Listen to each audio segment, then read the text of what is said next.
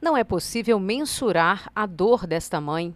Júlio Batista de Souza, morador de Caratinga, desaparecido desde o dia 2 de outubro de 2015. Já são mais de quatro anos de uma busca incessante.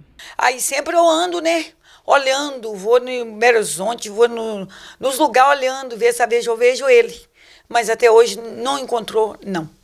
O jornalismo do Supercanal acompanha o drama de Dona Rosa Maria de Souza ao longo destes anos.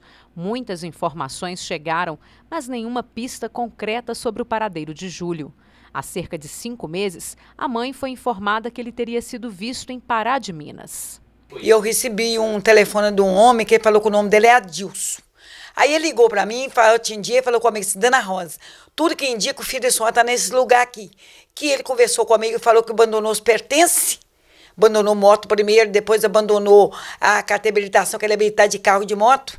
Mas aí eu falei com ele assim, ô senhor, senhor, senhor Adilson, senhor, tira uma foto, se ele estiver nesse lugar, tira uma foto, Deus joga no meu zap para mim. Passei o zap meu e do meu presbítero da igreja, do Credineio. Só que até hoje eu estou esperando e não jogou ainda. Uma espera longa, árdua, sofrida.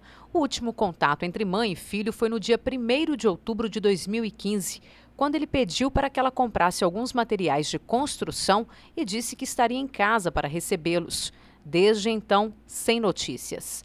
Cinco dias depois do seu desaparecimento, a motocicleta de Júlio foi encontrada pela Polícia Militar estacionada no córrego Caratinguinha, divisa com o córrego do Laje. Segundo Dona Rosa, foram feitas buscas no local e encontraram uma lona, capacete, carteira de habilitação próximo a uma árvore em meio à vegetação um desaparecimento envolto por mistério e uma mãe que não perde a esperança. Eu tenho esperança.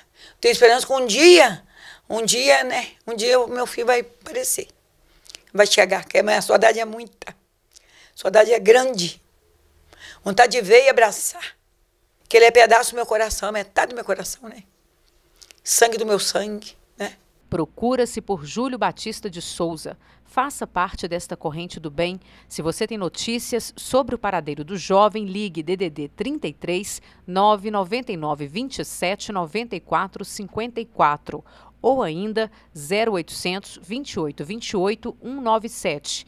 Ou, se preferir, acesse www.delegaciavirtual.cides.mg.gov.br.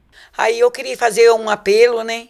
Que quem vê-se o Júlio Batista de Souza em algum lugar, conhecesse ele, conversasse com eles, aí, né, ligasse para mim, né? Porque o meu telefone tá pregado para todo lado, né? Aí ligasse para mim, entrasse em contato comigo. Porque, né, boba? E o pedacinho, o pedacinho de uma mãe.